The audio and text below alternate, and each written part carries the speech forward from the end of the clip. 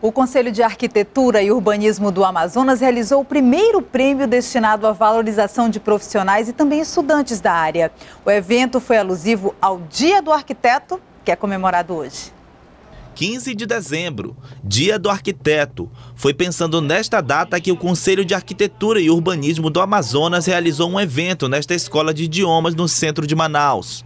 O encontro foi nesta sexta-feira e teve como objetivo apresentar modelos de habitação de interesse social. Esse ano a gente resolveu inovar um pouquinho. A gente quer pegar todo o estado. Então a gente resolveu fazer um concurso de habitação popular, habitação social, com um custo baixo, com tecnologia nova, que eu possa depois no futuro oferecer isso às prefeituras. E Manaus tem ganhado espaço nesse segmento, tanto que se tornou modelo para o restante do país. A prefeitura de Manaus hoje, ela desenvolve a maior política habitacional aqui do município e há quem diga que também do Brasil. O evento também serviu para premiar projetos profissionais e de estudantes de arquitetura e urbanismo. Foi a primeira edição do prêmio. O abrigo São Vicente de Paulo, na zona oeste de Manaus, onde vivem mais de 20 idosos, lançou uma campanha para arrecadar doações. O local precisa de reparos e também deve ser ampliado para receber mais idosos. De cara percebemos a alegria deles. Por aqui nada de preguiça e nem tristeza.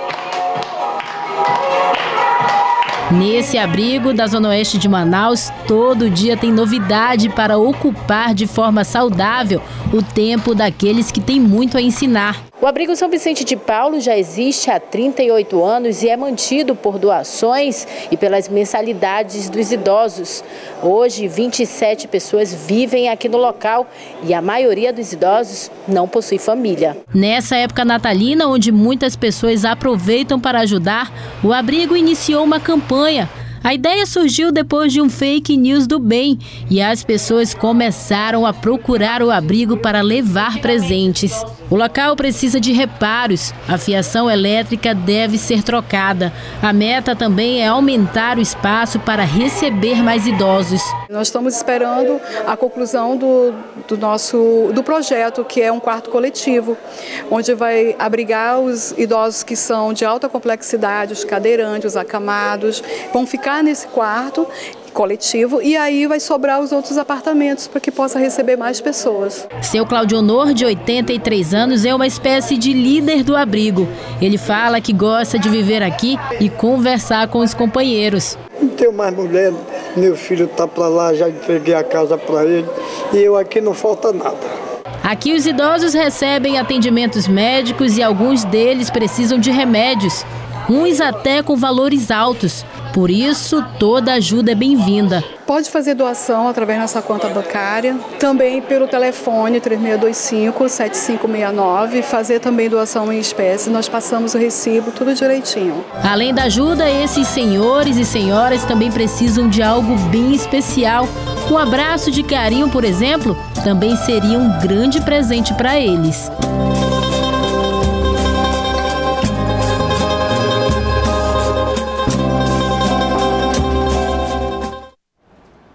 Abraço é sempre um bom presente. Olha, gente, o tradicional espetáculo Um Sonho de Natal da Igreja Batista começou dia 8 desse mês e encerra no dia 24, na véspera de Natal.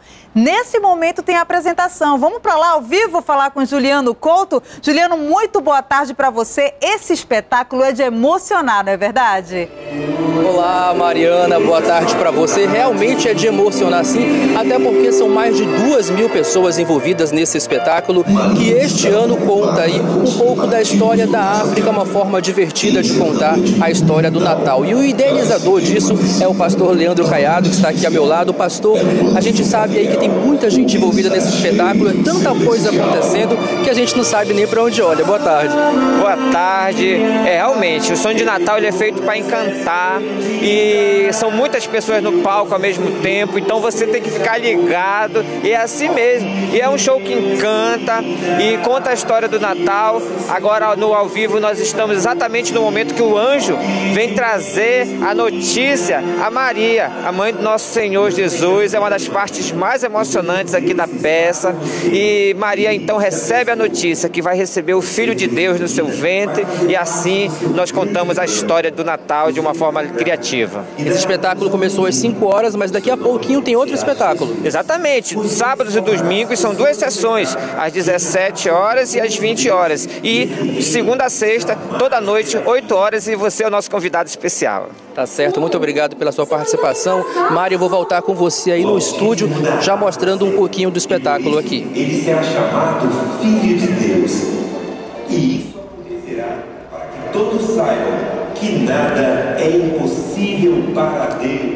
Que lindo, né, Juliano? Muito obrigada, até Juliano Couto, ao vivo, mostrando pra gente esse grande espetáculo. E a gente continua falando de coisa boa, porque amanhã é a final do concurso Miss Universo na Tailândia. E aqui no Amazonas a expectativa é muito grande. Sabe por quê? Porque a amazonense Mayra Dias é quem representa o Brasil. E a Miss Brasil B-Emotion 2018 é a Miss Amazonas! Era um sonho antigo. Mayra Benita Alves Dias hoje tem 27 anos de idade, mas tentava ser Miss Amazonas desde os 20. Era igual curumim, só gostava de estar de rua, correndo atrás de até de papagaio, corria atrás de pinto, pato, aquela menina só queria estar na água, pulando. Era esse tipo dela. Você imaginaria que ela ia chegar no Miss Universo? Nunca, nem passou pela minha cabeça. Na casa da família, a expectativa é grande. Eu não estou nada calma. Desde que iniciou essa semana né, do, do Miss Universo, agora eu, eu não venho dormindo direito e eu estou muito ansiosa e nervosa ao mesmo tempo. Mayra é jornalista. Começou a carreira de modelo há oito anos. Foi Miss Mundo Amazonas em 2015, Miss Brasil Hispano-Americana em 2016, Miss Amazonas e Miss Brasil este ano. E agora, a amazonense disputa o Miss Universo. Essa semana ela arrancou aplausos desfilando na Tailândia com um traje típico do Amazonas, confeccionado por um parentinês, que retrata a guerreira indígena transformada em beija-flor. A Mayra é a segunda amazonense a chegar ao Miss Universo, 61 anos depois da pioneira Terezinha Morango, que representou o estado no concurso em 1957 e ficou em segundo lugar. As duas são do interior do estado do Amazonas. A Mayra é natural de Itacoatiara, já a Terezinha do município de São Paulo de Olivença. A veterana até gravou um vídeo desejando boa sorte aí para nossa Miss Brasil. Eu gostaria de cumprimentar e desejar muito sucesso a Mayra, nova Miss Brasil, pelo Amazonas. Fiquei muito orgulhosa e muito contente e espero que ela faça muito sucesso no Miss Universo. No Largo São Sebastião, centro de Manaus, um telão será montado para receber a torcida da nossa Miss. O concurso será amanhã, a partir das 8 horas da noite, horário de Manaus. Se Mayra for consagrada Miss Universo, ela trará a terceira coroa para o Brasil, depois de 50 anos. E se depender da torcida amazonense. Mayra!